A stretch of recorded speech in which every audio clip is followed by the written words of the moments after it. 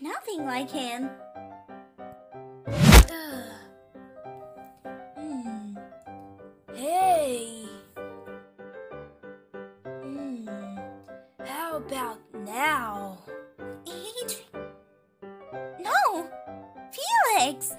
It's not about hairstyle. Ouch! What's the reason I can never be like Adrien?